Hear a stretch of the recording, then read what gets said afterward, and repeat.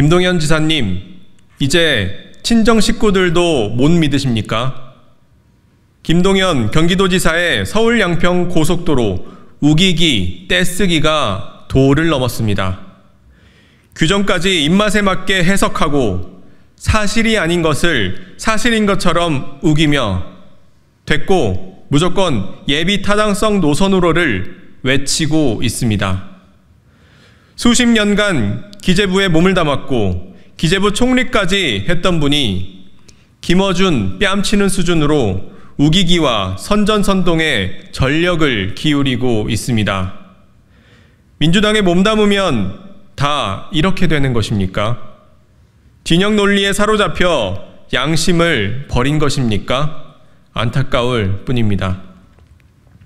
특히 예타조사 후 노선의 3분의 1 이상이 변경될 경우 기재부와 반드시 협의해야 한다는 타당성 조사 완료 이후에나 적용될 규정을 가지고와 기재부와 협의를 하지 않았다고 우기고 있습니다. 법 규정 다 필요 없고 서울 양평 고속도로를 정쟁의 도구로 만들어 본인의 정치적 이익을 얻으려는 술수로밖에 보이지 않습니다.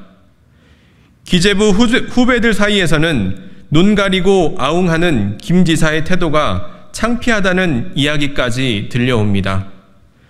도민의 안녕과 편의를 위해 복무해야 할 경기도지사가 마을을 두 동강 내는 예타 노선을 고집하는 이유도 모르겠습니다.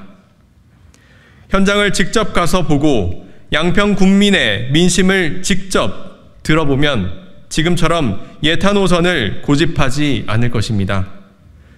지금은 노선을 결정하는 중간 단계에서 전문가와 주민의 의견을 어떻게 모을 수 있을지 머리를 맞대야 할 시점입니다.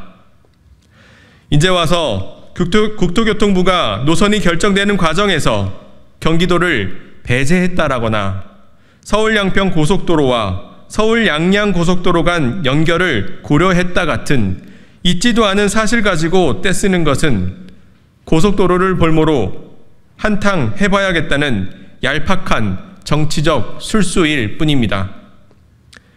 도민의 안녕과 편의를 위해 복무해야 할 경기도지사는 더 이상 서울 양평 고속도로 정상 추진을 가로막지 말아 주십시오. 이런다고 없는 존재감이 생기지 않습니다. 기재부 관료 출신으로서 양심을 지키는 정치를 하시기 바랍니다.